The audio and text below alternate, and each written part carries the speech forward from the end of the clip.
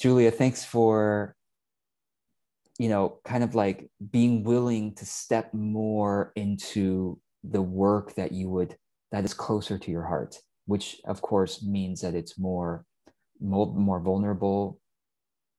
You know, it's gonna kind of scary because in the past, I mean, up to now, which we talked about before we started recording, you know, you were taught. So many of us business people were taught like you sell them what they want, and then you give them what they want and what they need but you sell them what they want. And then when, but you really, the work you really actually want to do is what they need. And, and so um, you're saying, you know, right now, at this current stage in my life, I can take the time to build a business giving people what I passionately believe they need. And so the great thing about it is that that's exactly how, well, you're here in Masterheart. This is exactly what the framework I've created is about. It's about authentic content starting from there, which authentic content means talking about what's true to your heart and saying, this is what I really, really care about.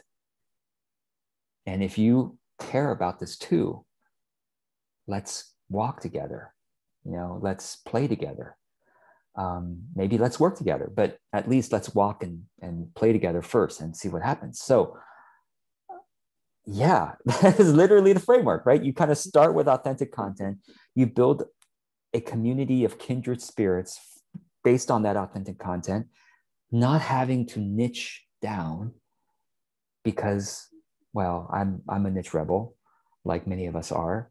And I think we, as a part of the infinite intelligence is too big for a niche, um, especially for those of us, I should say, who have the luxury at this time to, to do that. For those of us who don't have as much luxury, we can niche down based on products and programs and courses.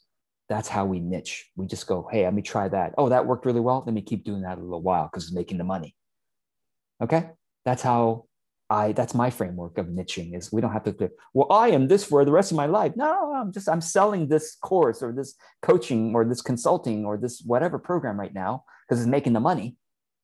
But that's not all of who I am, obviously.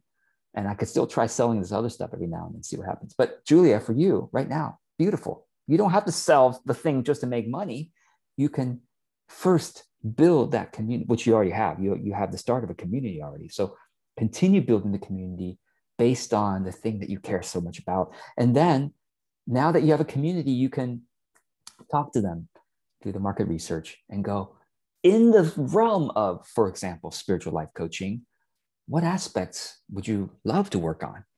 Oh, I would love to work on my retire my retirement plans as, as regard to you know per my purpose. Oh, I would love to work on how to get my marriage feeling more alive and meaningful. I'd love to work on how how is my my health is not good, but I have, I have a sense that it's connected something deeper than just Western medicine type stuff. Is there something deeper there, right? That's affecting. Anyway, as you know, and that what you know applies to all of that. right, and that the niching of a product to experiment. Yeah. With yeah. like who shows up for that. That's right.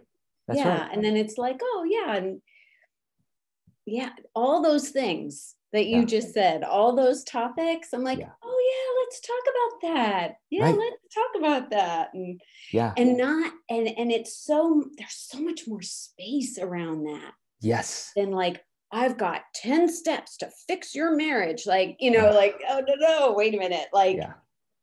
ah, yeah. yeah. Let's see what's there because when they are when they care about your message when they've been following your journey for a little while several weeks several months several years then they can't wait to some of them and eventually many of them can't wait to actually be in your presence live. Like i'm here with julia Thie you know? Like she's actually my coach. How amazing is that? Because i've been watching her videos. I've been reading her stuff for a couple weeks now, a couple months now. You know. And then I just hold up the mirror and I'm like, hey. Yeah. yeah. And it's like yeah. that's where impact happens is when, as we all know, those of us who are teachers and coaches and you know healers, impact happens because the client, the student, the patient allows it to happen.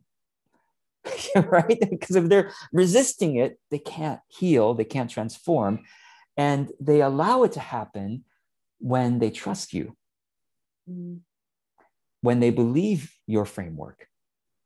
And how did they come to believe your framework and to trust you? When they, well, of course, because they've been they've been consuming your they've been exposed to your message. In the beginning they were exposed to it and they're like oh who's this person? Oh kind of interesting. And more and more they're like oh that makes sense. Oh that resonates with me.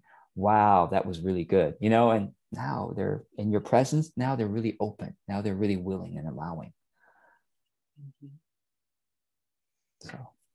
Yeah this all came to me. I i was sick in bed for three days and when and it was just like wow. i'm changing. I'm changing. That's big. Like, yeah. Yeah. So Oof. and I got out of my sick bed. I'm like, okay, here we go. Transformation. Butterfly. you know, emerging. So well, thank you, Julia. I hope this thank is helpful. You. And yeah. Yeah. Thanks Looking for witnessing that, journey. you guys. I know. It's so great. Yeah. Thank you.